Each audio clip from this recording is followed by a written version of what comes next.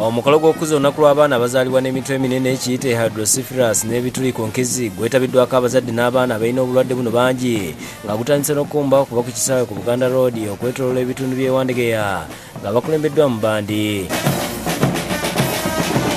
Oluvannyuma bakuŋŋaanidde ku kisaawe ku buganda road awabadde entikko y'emikolo ng'eno abavubuka balina obulimu ku mibiri gyabwe boolesezza ebitone mu kuyimba. Ekyamudde abantu n'okuzzaamu bannaabwe abakyali abatamaanyi abo bemulaba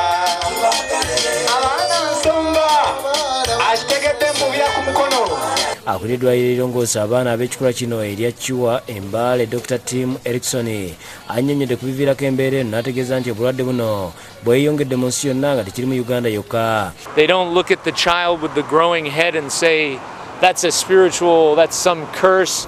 We need to get rid of that from our village.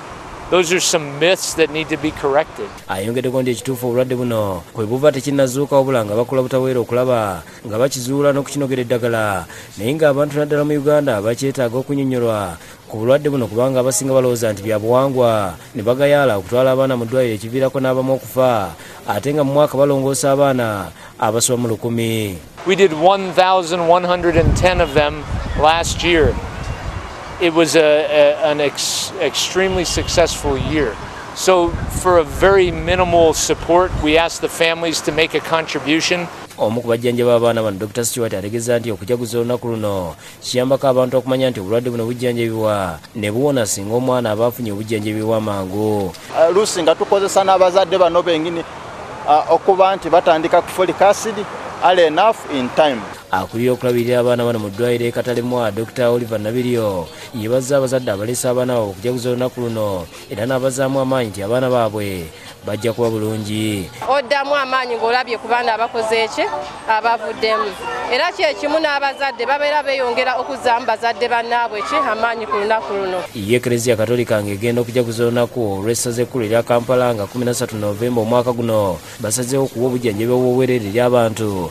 Basobole okuba balamu n'okumanya omuntu engeri gy'ayinza okwetangiramu n'okuziyiza endwadde ezibalukawo buli olukya olusiisira luno lukubiddwa wabweru wa lutikko e lubaga. Abantu abasomi mu bisatu bye bafunye obujjanjabi obwereere oluvannyuma lw'abakatoliki abeegattira mu lubaga cathedral foundation okuŋŋaanyanga ensimbi zisobole okulabiriranga emirimu gy'ekereziya era nkati kwe batandise okutoola basobole okujjanjabanga abantu. Abantu obwedda batuuka ne bakabirebwa endwadde ez'enjawulo kw'ossa n'okwabuulira ku bika by'emmere bye balina okulya n'engeri gye balina okuziyizaamu endwadde eziyinza okubakwata yakuliddemu abasawo wano proscovia matoba okuba ku ddwaliro ensambya annyonnyodde ku nteekateeka eno.